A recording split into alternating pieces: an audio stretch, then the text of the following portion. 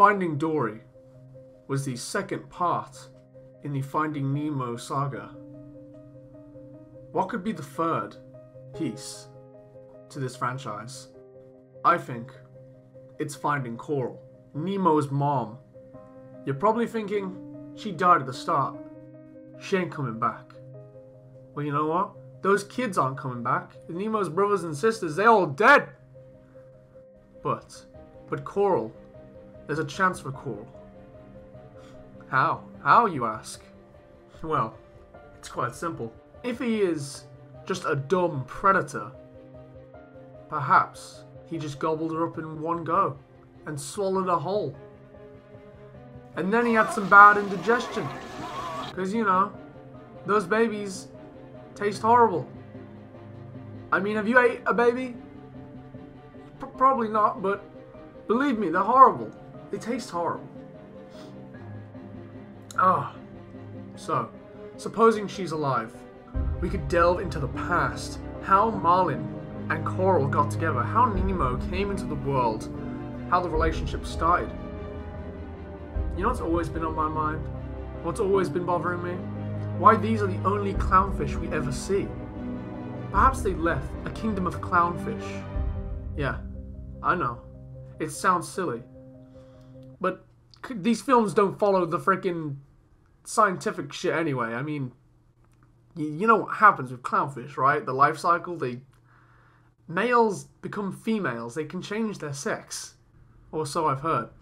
Anyway, so. Say they left. You know, they got this Romeo and Juliet feel. It's cute. But. Perhaps there's more to it. Perhaps there is a dark secret, a dark truth to all of this. Nemo, his fin. It's always bothered me. It's small. And let's be fair, Nemo's he's not he's not the brightest lad. He's not the brightest lad in class. Huh, lol, I touched the butt. Almost got himself killed. He's not very smart, is he? Not very smart, no. So, this this leads me to think there's more to it. Coral and Marlin, they're very close. Yeah, yeah, they're in a relationship, and you you always are close when you're in a relationship, but they seem too familiar, too playful, too naughty. Oh yeah, yeah, I said that. I think there's more to it. There's definitely more to it. Perhaps, perhaps they didn't leave their kingdom. Perhaps they were banished. Possibly for the same reasons. Perhaps they had a forbidden love. Wow. Oh my gosh. That explains it. Nemo's deformity. His brain. How come these two are so familiar? Why there's no other clownfish? They didn't come from two separate families. Nemo's parents, they were banished because they are brother and sister. Or cousins. Nemo is an inbred. Finding Coral was the third upload on the Harry Bruce TV YouTube channel. And right now it has just over 52,000 views.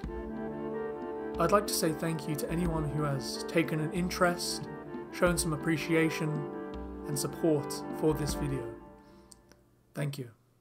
The video has received love, it has received hate. However, I believe these people are putting forward too much emotion for what is actually a joke. The video is wrong. See, after three years, I have realised that Coral was not eaten and pooped out or vomited out. There is a darker truth than what I put forward in that video and I'm going to talk about it right now. The opening of Finding Nemo is awfully suspicious. Marlin and Coral talk about their happy lives together and inspect the children just under their home. Then Coral goes out all of a sudden and there's a barracuda.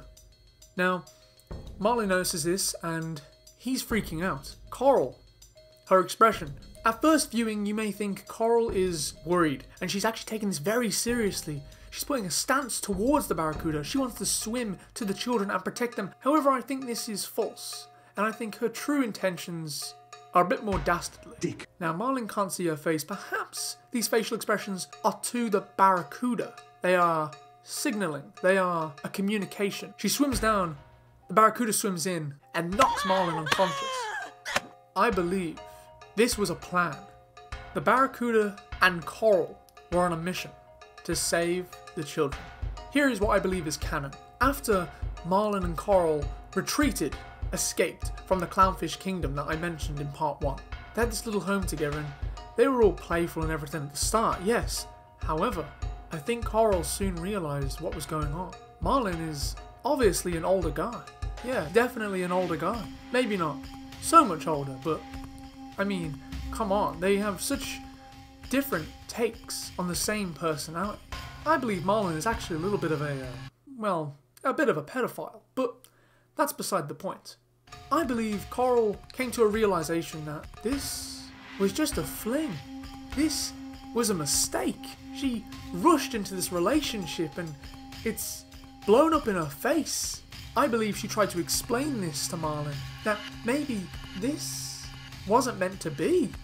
However, Marlin got a little bit aggressive, and then Coral had no choice but to stay. She was forced, she was abused into this relationship. I don't want to say whether or not she was forced to have children with Marlin, but that could have very well been the case. Anyway, the eggs have been laid. Coral, she doesn't want to raise these children with Marlin. She does not want to put these children through hell. As far as she knows, Marlin is a deranged old fish who's abusive. If not physically, definitely emotionally. He plays this stance as if he's the submissive one in the relationship. No, I believe he acts that way. It's just a front when he really wants the control. How's about this for a plot? One morning, Coral says to Marlin, I'm just gonna go for a little swim, little morning swim, bit cardio.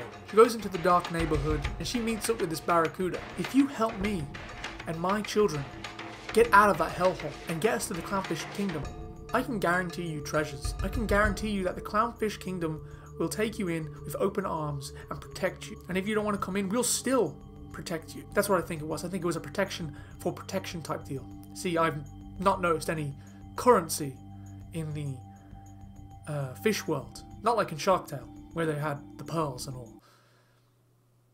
Why ain't I talking about Shark Tale? Why am I talking about finding Nemo? So they go forth with this plan to get out of there. Marlin is knocked out. They don't know when he will wake up, so they're in a rush. That's why they left the one egg. They just missed it or forgot about it or didn't have time to grab the egg. They had to get out of there as quick as possible. How did they transport the eggs? Well, they just they're still in the barracuda's mouth, but they were careful. Okay, before I get some comments saying how the how would they transport them, they ain't got a shopping trolley or a shopping cart. Shut up. They get back to the clownfish kingdom. Coral explains that she made a mistake.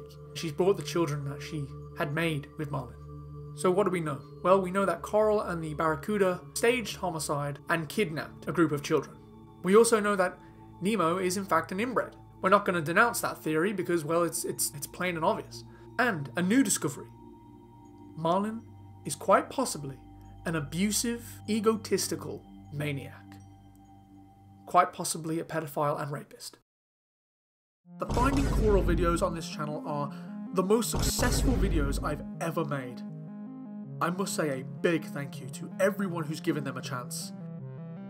But I'd be lying if I said I was 100% satisfied. What we've started has so much potential, and I think it's time we unearth that potential. We are going deeper than we've ever gone before. This is the darkest it's ever been. In late 2022, I began working on something huge, the greatest project I'd ever set myself. Something that would incorporate all my skills, hobbies, interests. I began finding Coral the series. Yes, what you're seeing is real. I know it doesn't look like much, It's the first time I've ever worked on anything like this. But this is what I've been doing for the last year. I was getting into a writing phase about a year and a half ago. From there, I drew all these characters, redeveloped their personalities, painted the backgrounds, even worked on some musical elements like the intro theme. That's some good ass fucking shit. But it's not just me involved. I have a handful of my friends who will be voicing the characters with me, bringing them to life. I was hoping to get this all done by October 2023 and start uploading, but I guess I've underestimated the size of this project. Going off script here, you can probably understand that I'm attached to this project. At first, it was just a, a test. I wanted to edit something, to write something, create something, and I wanted to get the experience, learn something. And it has been a passion project, and I want it to do okay. Look, wait for the first episode. If you like it, you like it. If not, Bloody you, bloody bastard bitch! I've got so much done and ready so far. Hopefully, this goes well. Thank you for watching. If you have any questions, if you have anything to say, leave it in the comment section. Thank you, thank you, thank you. Hopefully, this all goes according to plan. Otherwise, you'll hear from me maybe in another couple years with some other stupid idea. Thank you.